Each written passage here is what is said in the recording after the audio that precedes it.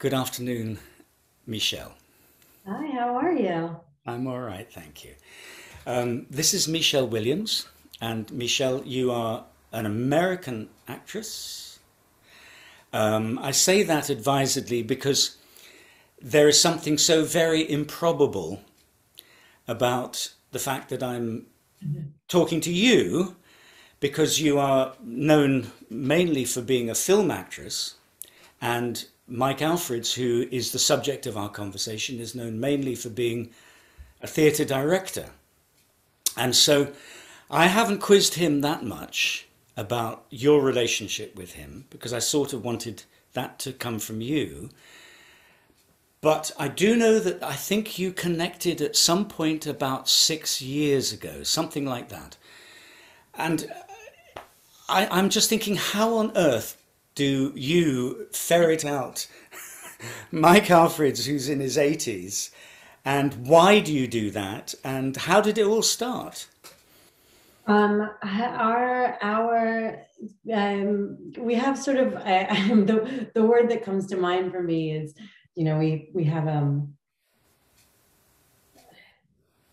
it's almost like a like like you said it's so funny how would we meet where there's uh, an ocean between us um, generations between us i wasn't aware of mike's work for most of my career um, but what happened really the, the beginning of the story goes back to when I was in London and I was making a movie called My, My Week with Marilyn and I was playing Marilyn Monroe.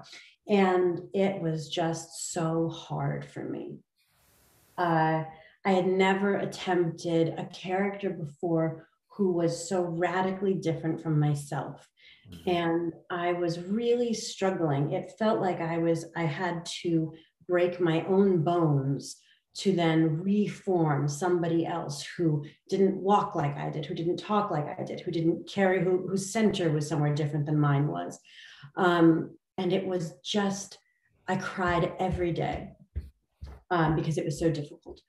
And there was a woman that I worked with there named Jane Gibson, who's a movement. I don't know if you know Jane, but she's a um, a fantastic uh, a movement coach and uh, and a dancer. And she was with me on that set. And she was the first she was really my introduction to being a trained actor. I'm completely untrained. Um, I, I didn't go to i didn't go to school for acting. I didn't really even go to school. I've had teachers in my life but never really in the way that you do that you do on your side of the ocean you know i come from I think that the sort of like American school of acting is very, it's very naturalistic.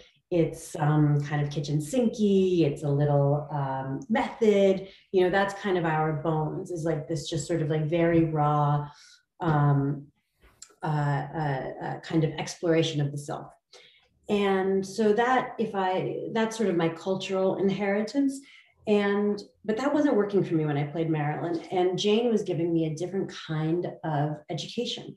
And it really clicked for me. And i really started to see some progress and it just intrigued me. How do i become someone other when i am limited?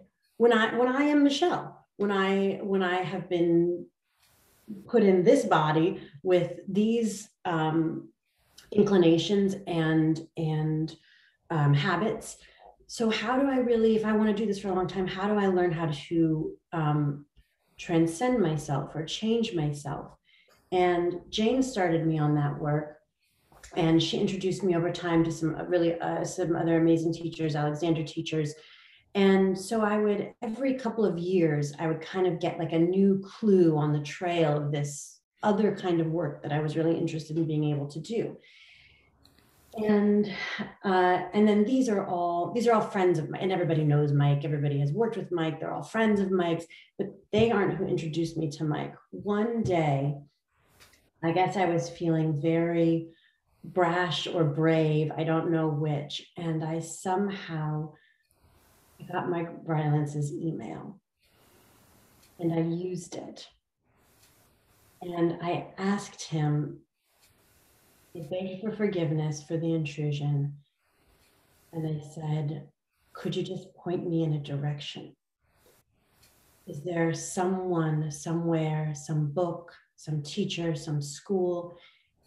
Is there anything that you know of that's that was useful to you that you would be willing to pass on to someone else? And the one thing he said to me was Mike Alfreds.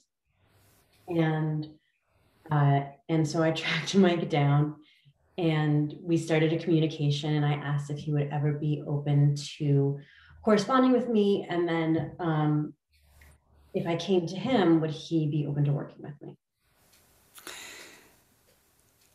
I was just going to say, look, you, you, you were doing Marilyn, you had this relationship with Jane Gibson. How much longer was it after Marilyn before you wrote to Mark and he recommended Mike? It was probably maybe six years. Oh, a long time. In between, yeah, quite a long time in between.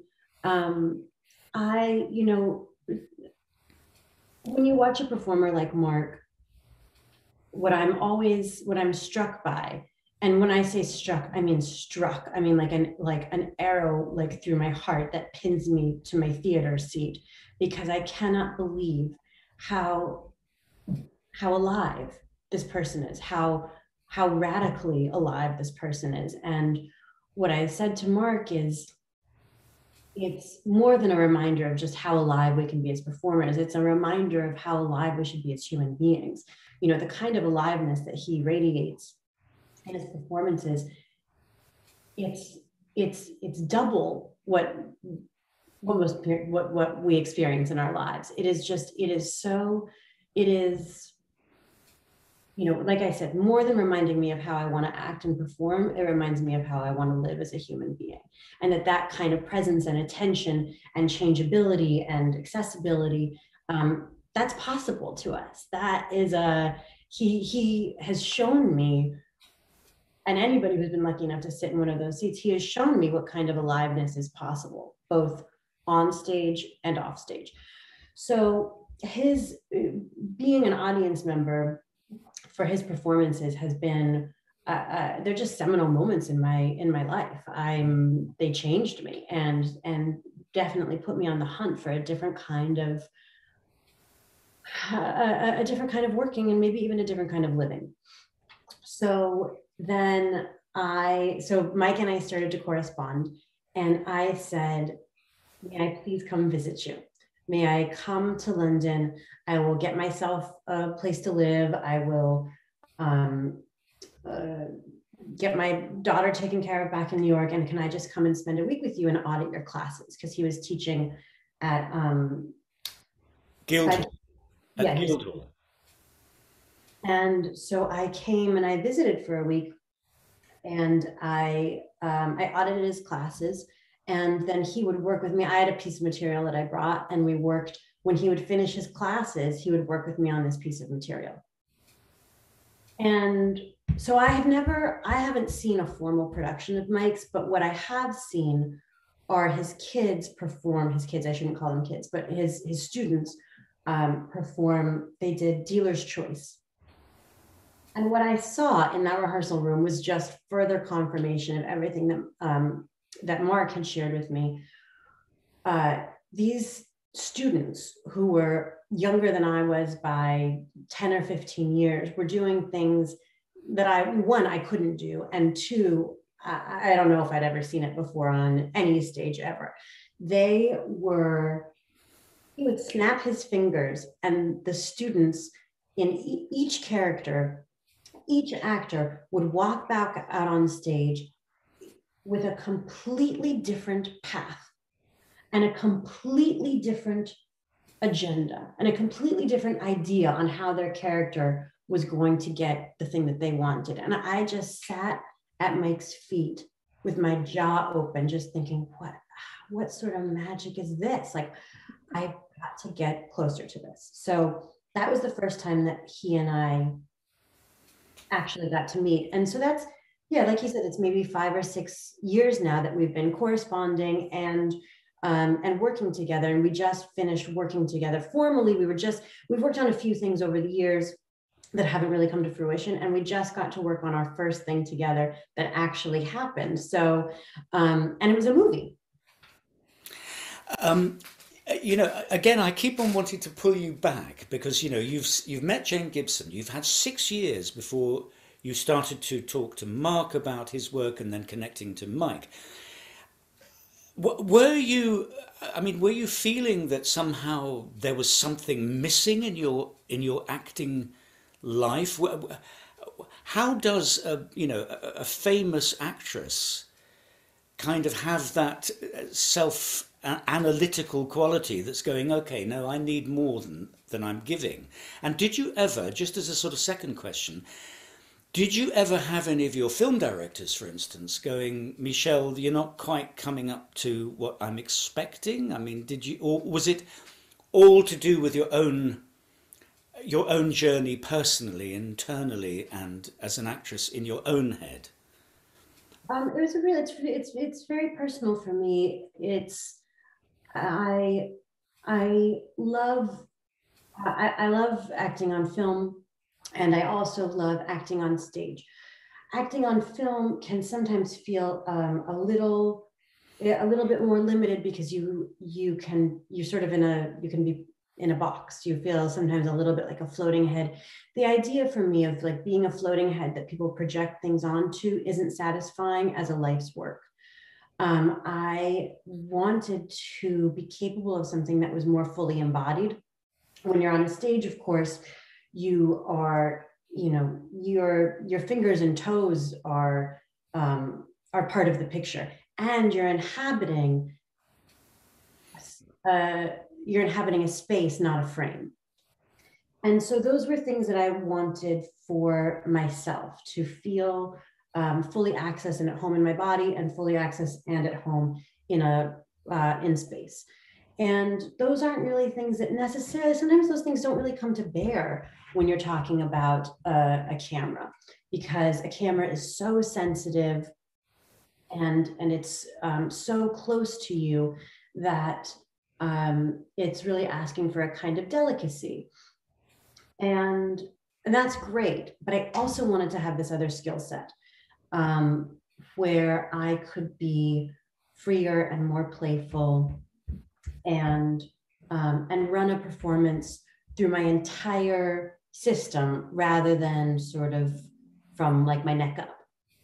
Mm. And and really again that was that was born because of Marilyn because of playing somebody who was so far from me and not knowing how I was how I could get there. I didn't know how to put my center in another place. I didn't know how to um, break myself of myself and but i really wanted it it was I, I couldn't do it and it was scary and i i could it was very hard for me to do these things um, that were required there was no real joy ease effortlessness mm. uh, inspiration it, it felt like breaking bones and banging my head up against the wall until blood came out.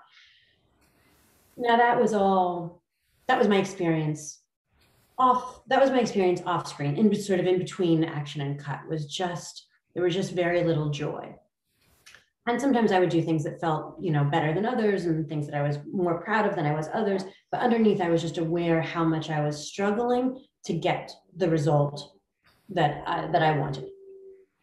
And uh, and so really i kind of think even though i've been doing this since i was very young i've been acting since i was 12 i really think i was i was 30 when i played marilyn and i really think that in some ways that's kind of where um, where the career that i have now like where that began where the seeds of that are which really is is rooted in um, uh, in, in in training which is really rooted i, I, I really take it back to jane gibson. Uh, it, it's really rooted in a kind of in a kind of training that i think is hard to find in america Mm. Uh, you know, it's interesting. You've used the word cent, you know, where the physical center was for for Marilyn, and you've said that a couple of times. Did you? Is that a sort of understanding that you got on the set for Marilyn, or was it something that you knew about before? Had you ever thought about that in terms of you know the physicality of a character, or was it a, a, a revelation for you? And and where was her physical center? Where did you feel that her center was? Yeah, I, you know, I really, I had never been asked to play a character who was so different from me. So I had never really had to reckon with how could I, how could I, you know, it, it's funny. It's like, is it, because ultimately it is, it is all still me. But rather than being locked in one place, physically, spiritually, emotionally, what Mike's work taught me to do is that because it's all still me, but I have more I have more access to all parts of myself and to all to all parts of myself intellectually, emotionally, and physically and that they're all connected and i think the other thing that's that you know what i've been what i was taught up until that time is that you really work from the inside out mm. So that you build a character um, because you don't the the idea is that it doesn't feel artificial because you're working with your own experiences and emotions and uh, history and so that you're you feel authentically connected to the character because you're using your own authentic experience. And like i said that's great but this physical thing really broke me wide open because what i realized was a physical a small physical change immediately releases you from who you have always been. And and again, this is all really internal stuff for me. It wasn't necessarily that somebody was saying you should do this or you should be that, or um, it was just my own kind of understanding of where I was coming, where where I was coming up against. I always I, I say coming up against the edge of my own ability. Mm. I could feel where my where I stopped being able to expand and where I stopped um, knowing what to, or where I stopped, I shouldn't even say knowing what to do because I don't always know what I'm doing, but um, um, where my limits were. Mm. And I so badly wanted to push that the next inch or two, you know, just gain a little bit more freedom. Um, and when I found those physical, when I found what a big difference a physical change made, that's when I started thinking, oh, there's there's a whole other world out there for me. This is just the beginning. Like I'm just I'm just scratching at mm.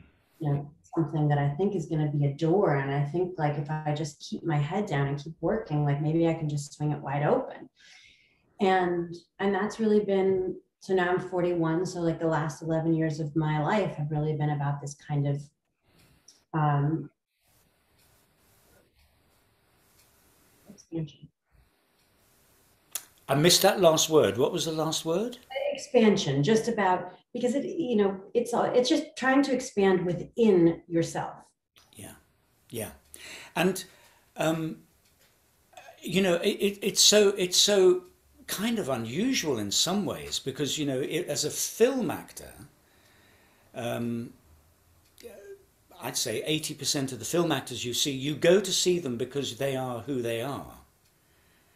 You know, and if you see them transformed in any shape or form, you either you're dissatisfied because they're not playing that part that you expect them to play, or you know a, a, a, bit like you with those students in dealer's choice your jaw drops because you think oh goodness they can actually play something slightly different from from what they normally do.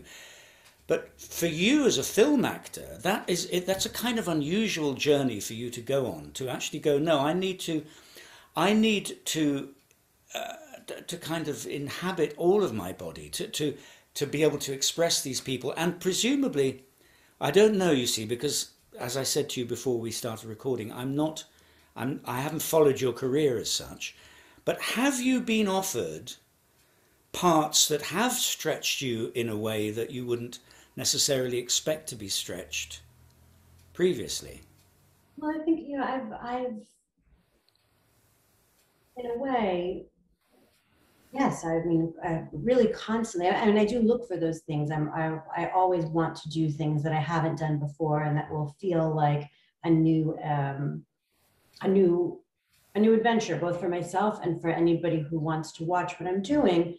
Um, because doing the same thing, you know, it really can only carry uh, can carry any interest for so long. I think so.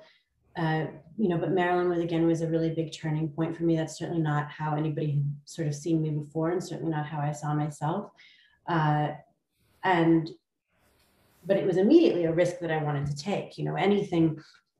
I love jumping off a cliff in my work. I like to be very um, routine and orderly and safe in my life, but I mean, I love an opportunity to uh, gamble when it comes to um, performing and what I'm going to do next. And I, you know, for a long time, I've had this feeling that I'm always kind of doing things that I don't know how to do. They're always just a little bit ahead of where I am developmentally and artistically the things that I'm taking on, I don't quite have the skill set yet for them. And that excites me. I love learning. I love learning. I like learning in real time. I like learning in front of people. I like learning on the job. Um, it gives me a thrill. And in Marilyn, even though I had done things before that that were, you know,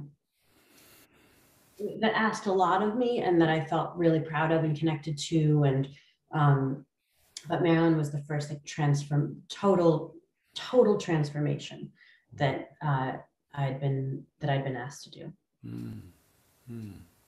And um, you know, uh, as you know, we've got a sort of the whole of Mike's life and the whole of the way in which he works is now recorded, and we've got a million episodes, and he goes through he goes through all his career, but then he goes through his techniques.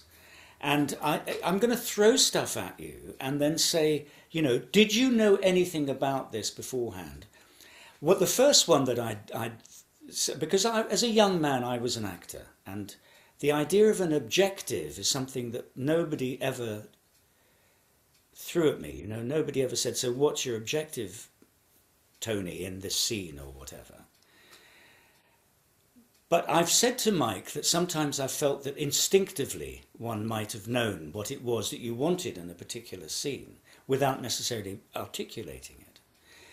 Did you have any, did you know about objectives as a kind of way of working before you started working with Mike? I had, I had, you know, I was, I was familiar with, I was familiar with the language and, uh, you know, I'd been, I'd really been obsessed with it, with, with teachers and being taught since I was very, very young. I was always reading, you know, Uta Hagen's book and uh, Respect for Acting and Stanislavski. I was, I, I had always, I really wanted a kind of methodology for the thing so that it didn't feel so helter skelter and like praying for rain. You know, I really wanted something that felt um, a little more reliable in that. So I'd been familiar with all of those words, but I'd never really been able to synthesize the, the, the, that intellectual part of it to the point where you um, where they those are just sort of things in the back of your head instead of things in the front of your head. Uh, yeah. um, and for me, the real key was this physical work. This physical work is what gave me the ability to be completely present, have have have have all of this kind of you know the all of the work that you do ahead of time with Mike, the, you know, all of the list making and the objectives and the um, super objectives and uh, and points of concentration. So all of that is kind of brewing in in the background, but the physical work really takes over, and so it allows your unconscious mind to go in so many. It's you know what I think of it like I think of it like meditating. I think of it like when you are that kind of meditation, which is mantra based, which I think is like transcendental meditation, and they give you a word to concentrate on. And when you're concentrating on that word, the rest of your mind is completely free, as opposed to sort of trying to concentrate on just freedom itself. You are concentrating on um, something that allows your unconscious to unravel. And that's what I've found, especially on this last job that Mike and I worked together on, is that uh, it allows you to kind of have uh, both brains up and running at the same time. Like your left and right are really communicating with each other. And and that really you could really translate that work when you went off to Los Angeles. You could translate some of the work you'd done with Mike. Oh, oh, some of it, all of it. I mean, I, I, I said this to Mike the other day. I just said, I just hope I can make it clear. We're there with me. We're there with me every day, every take. What I call it now is, you know, I love I love his Bible different every night. Um, but for me now, for taking it into a film, I call it different every take. Because what he gave me, and this is, you know, this is a few weeks of, of work that we did together. Um, uh, uh all kinds of things, you know, just, you know, go, very pointedly going through the script, um, uh, you know, talking about uh, objectives and super objectives and what, what she wanted and how she was going about getting the thing that she wanted, going through the efforts, taking me, going through, you know, all of the efforts and then combinations of the efforts and points of concentration. And all of these things gave me such, I mean, just like a, a stack of material really that I could take with me into work every day and have as a point of reference so that every single take completely i mean sometimes you know sometimes you're sometimes you don't hit it.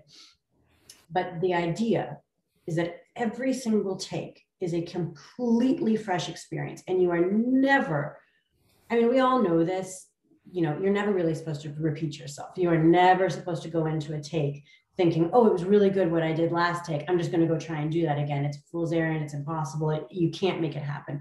Or if you do make it happen, it's actually a dead thing because you're trying to recreate something that was actually alive. But what Mike's, what, what the way that Mike works, the material that I was able to take with me gave me something to think about every single take of every single scene. I was working with something new and so each take, some better than others, was a completely fresh experience. And all of this work that we had done was in my unconscious. And so, and, and I could call upon it, I could just sort of think the thought about, oh, remember this thing that he said, or remember what happened in that point of concentration, or, you know, this time think about her, uh, where, where her center is or where are you breathing from or just you know all kinds of things. I mean lists and lists of material that i was able to uh, reference and then use and then be surprised by what had happened because it would lead me to a place um, that i of course that i couldn't have planned. Uh, there's uh, there's a lovely um, a, a, lovely sort of analysis of that by um, Sian Thomas in one of the where she it's she said it's sort of like layers of water sort of being placed one upon the other. And so you just get this incredible lake that you can draw upon, as it were, when, when the moment arrives. And it's not necessarily that you do it intellectually, it's just there, it's just living inside you. And really, it's living in your body. You know, you're, it, it has, it's transcended become being an intellectual process and it's become especially because Mike is such a believer in time. And, you know, unfortunately, I have never gotten to work with him um, on, I mean, I've never been directed by him on stage. I certainly felt like he was with me on this film, directing me in my head, but he, uh, uh, but I know what a great believer he is in time and the power of time and the power of, um, re- of rehearsing for a long time. And, you know, and I, the time that he and I spent working on this, plus the amount of time that I spent rehearsing for the film itself once I was in Los Angeles and the time that I had spent, you know, it's sort of, it really, it gives you a rich history with this person. And mm. so that when you, when you work through these exercises with him, that what they give you are the character's memories. They give you possibilities for the character. They give you sort of like a dream life that you just get to, a dream life sounds maybe a little bit too woozy, but it gives you a kind of it gives you their memories it builds like a memory bank of mm-hmm. um, things that they could be thinking uh, moment to moment scene by scene and those are kind of stored because it's a creative process you know those are sto- the you you hang on to them they're stored and they actually grow over time and then they start to relate to other things that happen in your day or or other things that happen you know as you sort of go through the filming process. They you know you're reminded of things based on what you've just done so it's it's it's just so generative. It just feels like it's it's always building it's always building and the more comfortable that you get with these you know the efforts were a huge turning another turning point for me when I started to get comfortable with those. Um, and you concentrate on one of those efforts and you have no idea where it's going to take you mm-hmm. because you aren't actively thinking about it, but your body is taking the lead. Your body is in charge. You know, there's this um, saying like the body keeps the score. And um, that's really been true for me with these efforts is that the when I'm effort to effort because I'll try sort of different things take to take. Okay, well, what if I, you know, what if I'm, what if I'm slashing on the inside and dabbing on the outside? Like, what's that going to feel like? And it's a, it takes me to a totally unconscious place that I never could have anticipated um, with my logical mind. Um, j- just in case somebody doesn't know what we're talking about with efforts, what we're talking about is what's called Laban efforts uh, which Mike does go into in great detail in one of his talks. And, um, you know, I think I've found them unbelievably liberating as well. And I know that when I've worked with, with students, you know, they, they've, I hope, have found them fantastic. As long as you give yourself over to them in some shape or form. Just as a sort of technical thing, when you when you were working on Laban efforts with Mike, were you sort of in a Zoom situation like we are, in a room by yourself. And he was getting, and you had to kind of get over that self consciousness of being in a room, being watched, while you were being light and, and direct or whatever it might be. That's exactly what we did. Is we were in a Zoom room, and I um, uh, borrowed a friend's house because you can't really have kids running around while you're trying to roll around on the floor. And um, and and we would go through the efforts together. You know when i when i first started working with him and he first sort of introduced me to the efforts when i was in london and i was uh, uh, uh, watching the work that he was doing with the students and then i would work with him after hours it was so difficult for me. Um, but i stuck with it because i wanted it so badly. I just i wanted to be I, I, it's like i could understand what he was talking about but i just couldn't do it. I couldn't figure out how to move my body like that or how to take that thought and let it affect my body. So after all of these years to now be able to not only understand what he's saying, but do it. It's such a relief. It feels so good. I'm so willing to make a fool of myself and jump and roll and you know stroke a wall I would do I would do anything. I would do it on the ceiling if he asked me to because it feels ah, such a relief to finally sort of be there and to really be able to be taught by him because um, because I can access it now. So, and honestly, the Zoom situation has been great because I used to go over to London just to see him and just to work with him. And and now we can do it from we can do it at home. So uh, that it's actually been like a real blessing um, to be able to see him like this in COVID and quarantine and all of this, and to be able to keep in touch with him and check in with him, and um, and and he was really able to see. You know, I wouldn't think that he would be able to see. I would experience a place where I was sort of holding myself back, and he saw it over Zoom when I'm back up against a wall and like trying to climb on it, he can see where I need to um, put more energy. And he would always be right. And I'd say, how can you, how can you see that? And said, well, I'm, because I'm the teacher. Of course I could see it. So, you know, it was really a very effective medium for us to work. Um, even though it has its downsides, it was, we, we really found a way to, um, um, to, to get to power through those and and uh, the the I, mean it's fascinating us talking about the the body and the physicality because it's something that I I kind of knew instinctively as as a young actor myself and you know how the slightest shift in your body, be it in your eyes or in the way you hold your mouth or anything, starts to just it sort of floods you, doesn't it, with the oh, with a whole load of other stuff. Yeah, that's really well said. It just it starts to flood you, and I think that was the experience that I had that was just so transfixing. Was I can affect that much change just by where I'm holding my head, just by where I'm locating the energy in my body, I can feel so completely different. Hmm. Yeah. Yeah. And it's hard, it's kind of scary in a way because you know you could you can I mean if you chose to now you could just switch off and kind of become some kind of awful you know dragon or something if you felt like it because you because you have that control over uh, uh, the kind of that lovely feeling of, of, of having more and more vocabulary as it were as, a, as an actor the same with any any kind of craft is you know the, the bigger your vocabulary as a singer or a guitarist or a pianist or whatever it might be and then things become sort of easier in some in some areas because you're kind of not thinking oh gosh i've got to get my fingers absolutely right here.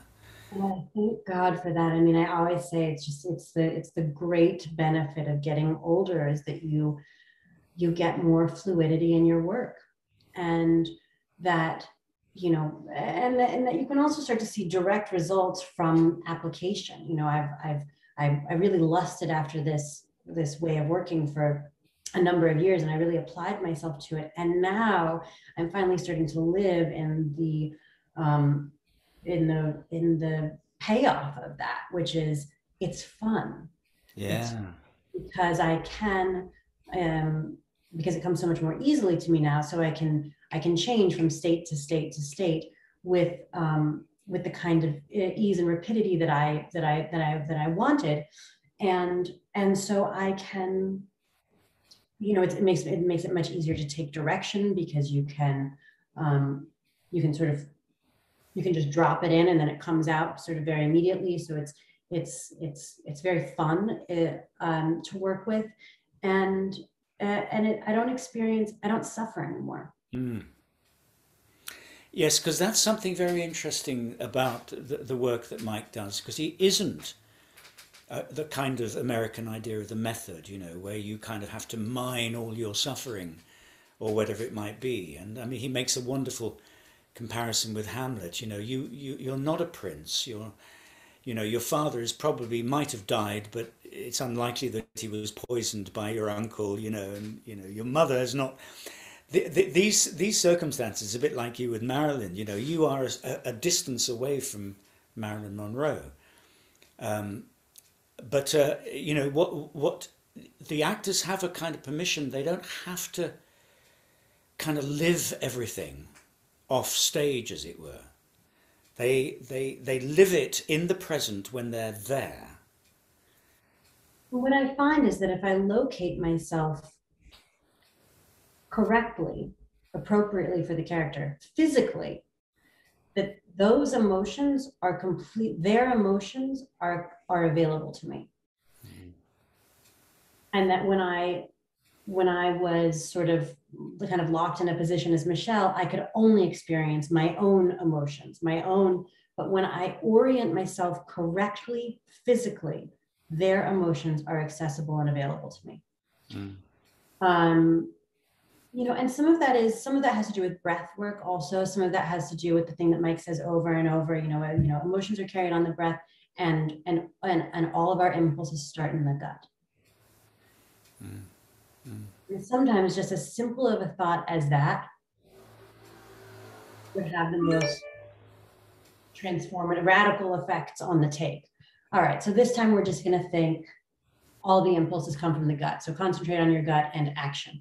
And then that would carry me off in another direction. But then I don't use the same thing take after take after take. I sort of go back to the drawing board and everything that Mike and I have talked about and, you know, sort of try something new. But, you know, the stimulating something for me, I've just found that coming from a physical place is actually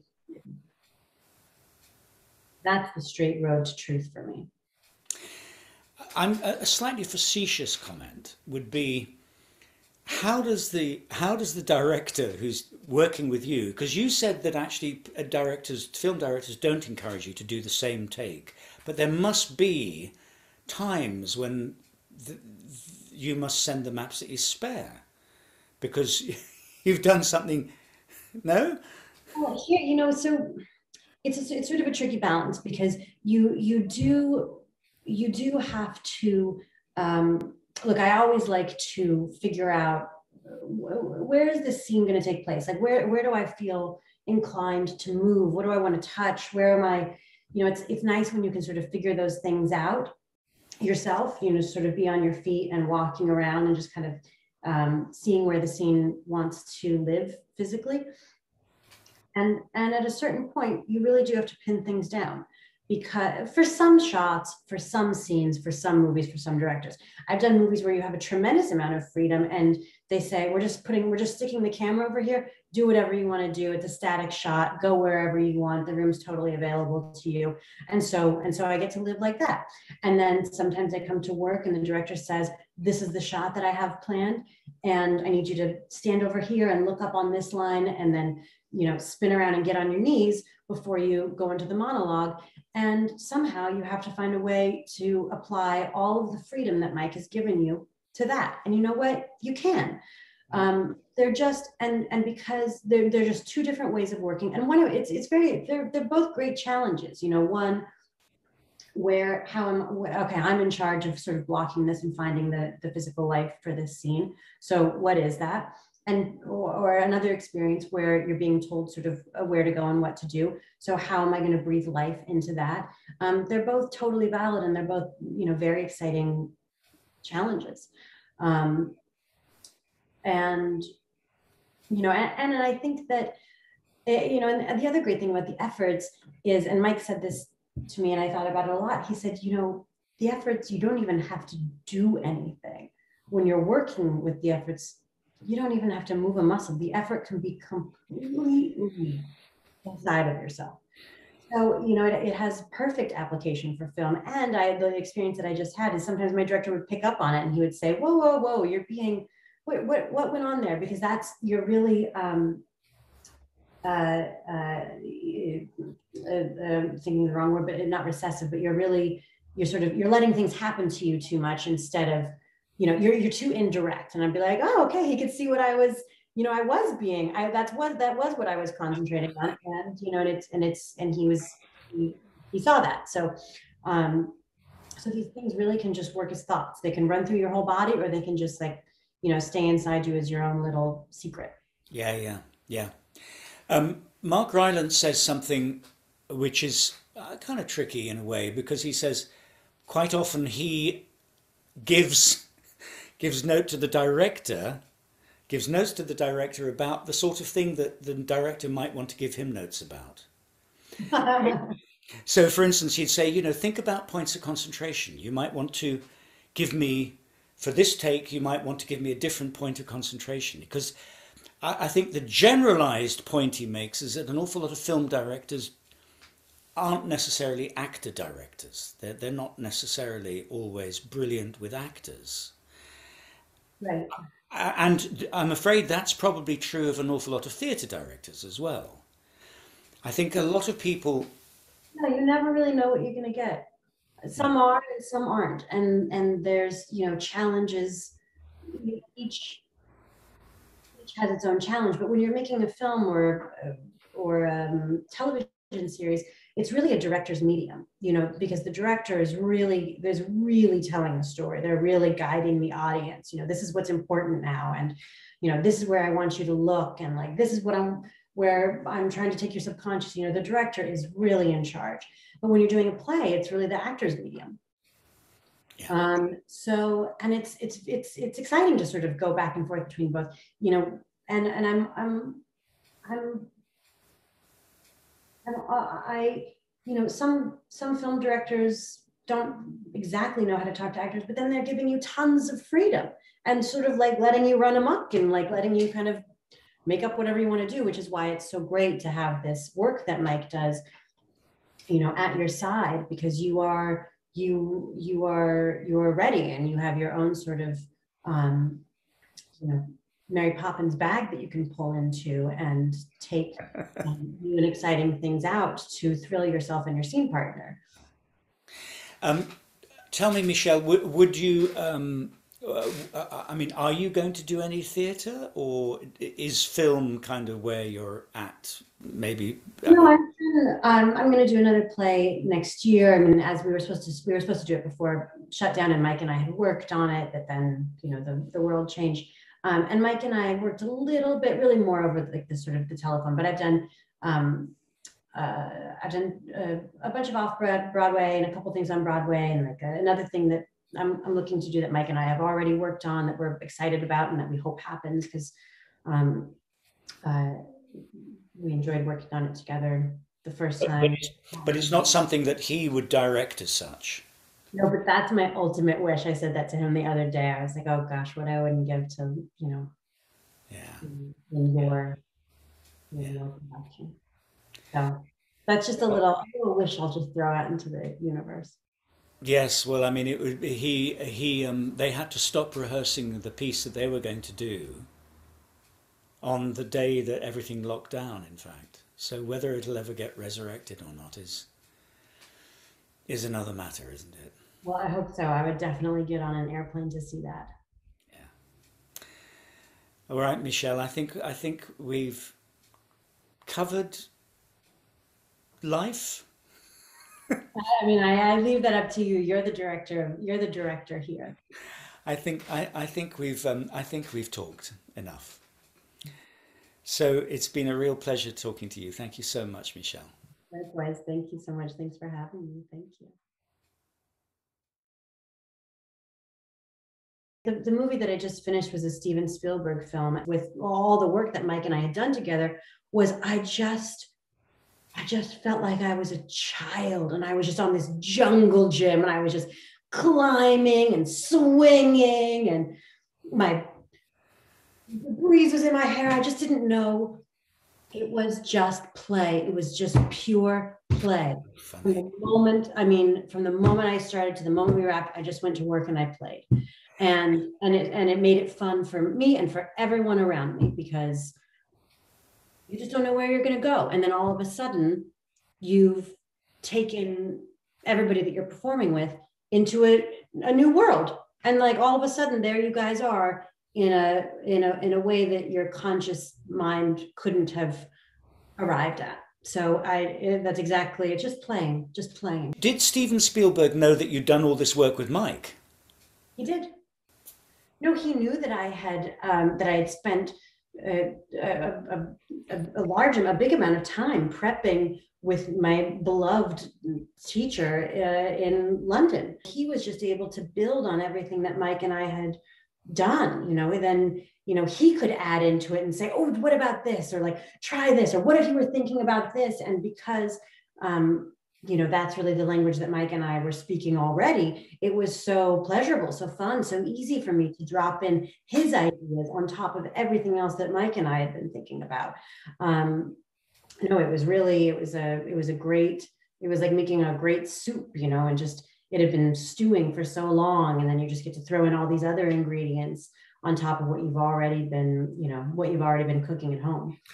Uh, the, the other thing is did did I get the sense that you were saying that your freedom, your playfulness had an effect on other people? Well, I mean, I think ideally that's really what what you what you want in any circumstance is you know that it's like jazz you know i'm playing this part and then you're playing this part and then i get excited about what you're doing and you build on what i'm doing. And then all of a sudden you have something that you know it almost shouldn't even make sense but it does you know and i find that you know this work is like it really can push things to extremes where sometimes you're in a territory and you're like is this good or is this bad? Am i having too much fun because you're so full. You have so many ideas that you can bring to bear and you have so many places that you can go physically. Um, and and if you can go those places physically you can go those places emotionally because your emotions live in these different parts of your body. And so when you're accessing these things, you are really, um, you're really running like a, you know, a 12 cylinder engine or something. And sometimes you think, is this going to be too loud? Like, is this thing going to be too noisy? Are people going to say, oh, you know, back up your truck? Um, but ideally, you should be working to you know excite both yourself and your own creative creative imagination and also your partners because they're the ones that are in the scenes with you over and over again and and if they and if you if you if you can you know stimulate them in a different way then what they give you back is different. And then you're really you know then you really are different different every night or different every take. Um, and that's you know it's just it's a magical place. And like i said you know that what what this work really takes me back to is like it's not just a way to perform. It's not just a way to act. It's really a way to live. Um, how can we you know notice each other? And how can we mm. um, how can we excite each other and how fully can we express ourselves and how much attention can we pay you know i would find on this last movie that i did that mike and i worked so deeply on you know, between action and cut, I just thought I have to be more like this in my life. You know, I'm mm. I'm so accessed here, mm. and this is really what I'm going to strive for when I go home or when I'm talking to my friends or playing with my baby. You know, it's it's that kind of that kind of attention. It's fascinating that because um because I I've often sort of talked to him about the idea of where, how of that idea of being present and the idea of actually seeing you're, you're playing Hamlet or whatever, and, and actually seeing Rosencrantz, seeing Claudius, seeing your mother, somehow not just seeing through your frozen eyes, but somehow being available for what they give back to you. And I think that's a really scary thing. And it's a scary thing both in you know the craft that you have but also in life because in a way if you are seeing that other person you are taking responsibility for them as well because you are letting them into you somehow and i find i, I think that's that's a, that's a big ask of people i mean obviously we want to do that with our kids don't we Right, you do. Well, I mean, that's, you know, it's like one of the great things about having kids is that's the kind of play that they're engaged in. You know, that's the kind of like, that's like walking through the wardrobe. You know what I mean? Like that's, that's going to Narnia. But, but they are able to do it. And then they always have a safe home to return to. You know, they always then sit down for a meal. And I kind of think about this work a little bit like that. Like these are just places that I can explore. I can always go back to being Michelle. Like that's a safe resting place. I know where she lives. I know what she sounds like. I, I know how she holds her body. Like that will always be available to me. That's home. So it really makes it quite safe. Yeah. Actually, to access these other, you know, places in your in your body and in your imagination because yeah. you do have a you do have a home to go to. Yes. You have, to, you have to know where to start if you're going to, you know, kind of veer and careen so wildly in this work. But you, you know, you have a starting place and that's that's that's your safe place. That's home. And that's really interesting you say that because again that's a Sian thing. She said at some point when I was she was working with Mike and she did quite a few productions, she realized that she had to have a kind of center that was her and that was strong and that was not going to be, um, you know, the, the, the, the critic in her head wasn't going to rip her to pieces. Because if you're able to take yourself to all these different places, all these different realities, if you're really to take, if you're able, while still using the instrument of yourself, to really move away from your own habituations, then, you know, the places you really can't be hurt or injured because they aren't actually talking about you you know they're talking about places that you travel inside of yourself but they're not talking about the heart of you michelle because you're accessing these other uh, areas consciously and, and, unconsciously so so that it actually gives you a safe home to return to. If you use a kind of a, a, a more method idea or you know sort of mining your own experiences over and over then you really do leave yourself very vulnerable. I think ultimately it's a combination of these things. Like i think ultimately you can't really it's very you you know you know what you know you experience what you've experienced. So in some way you are really beholden to those things but but this work can help you you know expand and open up and sort of find new new areas to express through. But it, it does also give you you know a kind of clean space to walk into and be yourself again. Mm. uh, uh, yeah i mean that, it, that that's kind of fascinating. The other thing is um is that you said the word attention, the giving giving so much attention to something. I think whatever field it is in life is a wonderful, wonderful, healthy thing to be doing, isn't it? It reminds me of another incredible thing that Mike said to me that I thought about just constantly on this last film. He said, um, complete what you fantasize about doing. And I find that in our lives now, we get so little time to fantasize about what we want to do because we are so um, kind of cut off um, at every um, pass by technology. You know, oh, the thing just ring, or the, it buzzed, or it beeped, or it, you know, jumped, or whatever. You know, you're constantly being interrupted and by something that tells you that it's very important that you have a message you need to get back to somebody. They called you they emailed you they you know they they they messaged you twice. Why didn't you get back to them? Complete what you fantasize about doing. I mean and that was a product of us working on the Laban together working on the efforts because you know you do these efforts to the point you know where you are so involved in this world. You're spending 10 15 20 minutes, you know, obsessing over these three dynamics. But it it it helps you remember that human beings are meant to obsess in this way. We're meant to become transfixed and intrigued and impassioned by something and complete what you fantasize about doing really carried me I, I you know through these takes and through these scenes how much further can i take this thing? How much more can i let myself fall and explore? Because in my day-to-day life i am constantly cut off from that unless i'm playing with my children. Yeah. so you know that that idea you know he just drops i mean having a conversation with mike is a priceless experience. You know he's just you are catching pearls of wisdom from his devotion to his his life and his life's work so these these things that he says that fall off of him i mean i'm just catching them like this and then writing them down as fast as i can and then and then living with them and watching the kind of magic that happens when i work with his mm-hmm. Mm-hmm.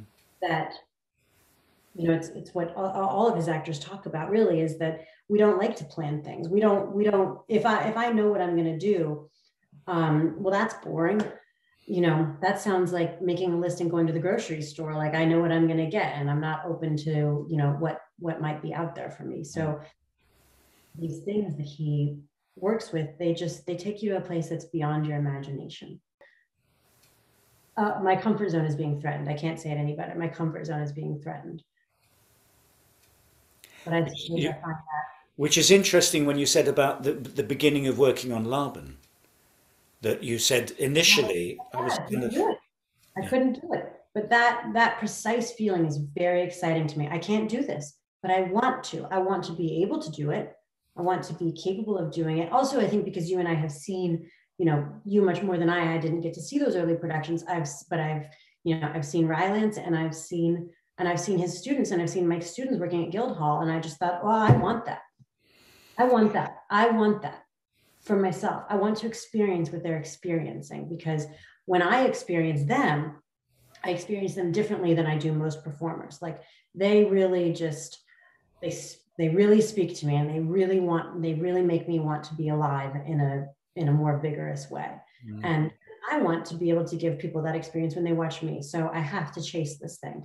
Mm. And even if it's very painful, you know, it's also the sort of lesson that you always get over life, though, too. You know, uh, no pain, no gain. Like you, you have to sacrifice something to get to the other side of it. You know, you have to sort of get through the thistle to get to the fruit. So I that that exact experience of not being able to do what Mike was talking about was was just what I was looking for. And he's unstoppable. I mean, he's unstoppable. He's just he's indefatigable. You know, our, our work together, I would tire out much before he did.